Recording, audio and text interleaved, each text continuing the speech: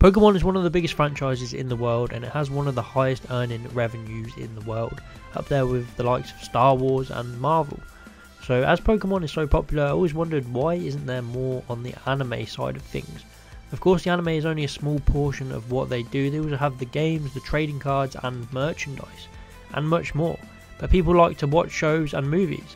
Look at Star Wars and Marvel, they've announced a ton of new shows for Disney Plus, and of course, Pokemon probably will never do this, as it's probably not that profitable for them, and it's different with Japanese anime, they usually have one long running show, and you don't get a bunch of other spin offs. But I thought it would be fun to take a look at what shows we could see if this happened. It's all theoretical, I don't actually think any of these shows will happen, but it's just fun to imagine what could happen. Pokemon have done stuff like Pokemon Chronicles, which is basically what I'm talking about, just a bunch of side stuff exploring other characters around the world, showing what they're doing while Ash is off doing his own thing. Because the Pokemon world is huge with so many characters to explore, so I'm going to talk about three different shows that would be fun to watch and I hope you enjoy. And of course be sure to let me know what spin-offs you could imagine in this world. The first spin-off show we have is called The Oak Family. This show will take place mainly in Pallet Town, but will also venture out into other places around Kanto, and possibly in other regions like Johto and Sinnoh. The show will focus on the Oak Laboratory, day to day life at the lab, featuring all of Ash's lab Pokemon, and how Professor Oak takes care of them. It will be similar to the episode Showdown at the Poke Corral, but it will be a whole show dedicated to this, and not just Professor Oak, but also Gary Oak, who is a main character as well. We will see his life as a researcher working with his gramps. This series will fill in the gaps between Diamond and Pearl and Journeys. It will show everything that Gary has been doing in this time period, including a storyline where he misses battling, and this is what drives him back to compete in the Pokemon World Championships. We'll see all of his favourite Pokemon Blastoise, Umbreon, and Electivire. And we'll see a load of Gary battles, including a battle against Misty, who is in charge of the Cerulean Gym at this point. The main cast of this series are Gary Oak, Professor Oak, Tracey Sketchit, and Delia Ketchum. I've spoken about Gary and Professor Oak's roles, but the other two, of course, are living in Pallet Town at the moment, so they'll be there day to day interacting with Gary and Professor Oak. Also, this would be a chance to fill in a bunch of gaps with Tracey as we haven't seen him since Black and White. He could accompany Gary on some of his research projects or battles, and then help Oak around the lab. The supporting cast in this series are Richie, Butch and Cassidy, Professor Elm, and Professor Rowan. We've seen a few of these appear in Chronicles episodes at the lab before, so it'd be cool to see them again. Richie living in Kanto, it wouldn't be hard to see him appear. He could potentially be a battle opponent for Gary. And then Butch and Cassidy are long overdue a return, so if they was in the series, it would make up for all of their time long gone. They could be the comic relief of this show, just like the main trio are in the main show. And then the two professors, Professor Elm and Professor Rowan, I feel like these two haven't had much love, and that's why I said we could be visiting other regions like Johto and Sinnoh. And these professors could meet up with Professor Oak, Gary, and Tracey for some exciting episodes. Two special guest appearances that will feature at the end of the show in the last couple of episodes are Misty and Brock. Like I said before, Gary will end the show battling against Misty, the gym leader, to prove that he's fully back to battling now despite also being a researcher. He'll prove that he's still got what it takes, taking on Misty and her Mega Gyarados, and he'll win using his Mega Blastoise. And then Brock, since he's going to be in Kanto, he will also feature maybe not a battle with Gary, but some sort of episode that will show how he is progressing with becoming a doctor. Helping out Gary with an injured fossil Pokemon in Pewter would work nicely. So that is the Oak family, a show focusing all around the lab, Ash's old Pokemon, and many more. It's called the Oak family because Professor Oak is basically the dad of the lab and he keeps things going on around the lab so everyone around is his family including Ash's Pokemon. This would be so much fun and speaking about this is making me wish Pokemon Journeys did this type of stuff. So let me know would you watch the Oak family? Give me a rating out of 10 on how good this show would be. The next show is called Serena's Hoenn Adventure and you could probably guess this will take place in the Hoenn region and star Serena alongside Shauna as a main character. Serena will journey with her through the Hoenn region and both her and Shauna will compete in Pokemon contests. This will pick up exactly after X and Y as Serena decided to go to the Hoenn region after Kalos. She will journey to collect 5 ribbons and compete in the Grand Festival, and there will also be a Wallace Cup taking place along the way. She'll continue to grow with a Pokemon, catch brand new Pokemon, and much more.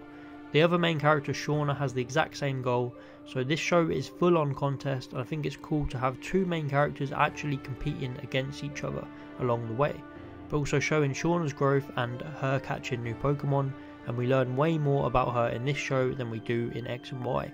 The supporting cast are stacked full of coordinators we know from the past.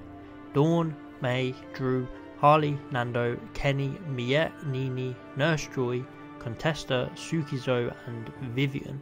So a bunch of coordinators in the mix who will return and many more characters. And the coordinators will return throughout the different contests in this series. Each contest will have someone different to face and a lot of mixture.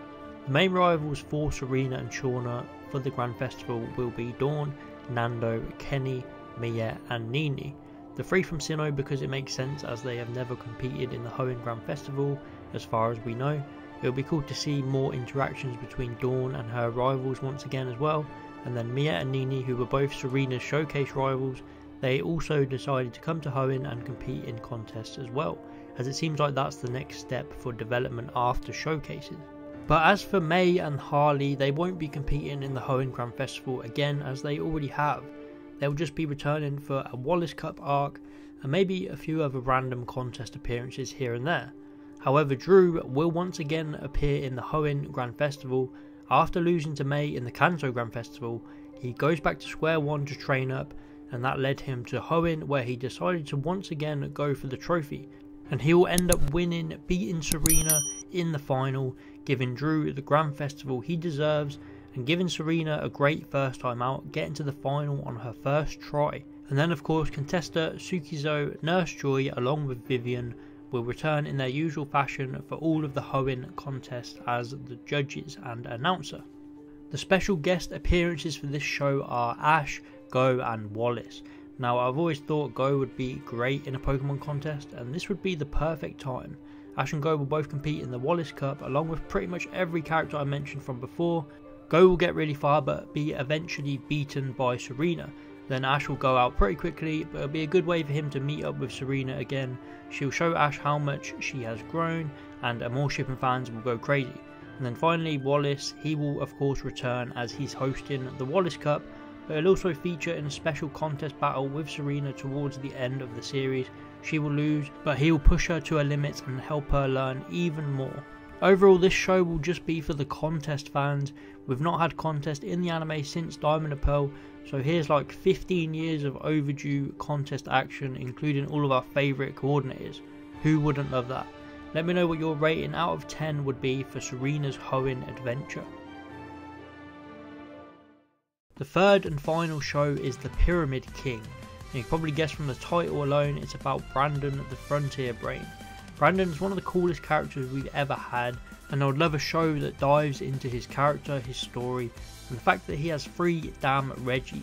The show will be a bit of exploring ruins with Brandon, and also him battling challengers in the battle pyramid, including a certain trainer. So the other main character in the show besides Brandon is Paul. Although it's called the Pyramid King, we're going to see a bit of Paul's journey after the Sinnoh League as well. He'll prepare for his match with Brandon after he told Ash he was to have a rematch.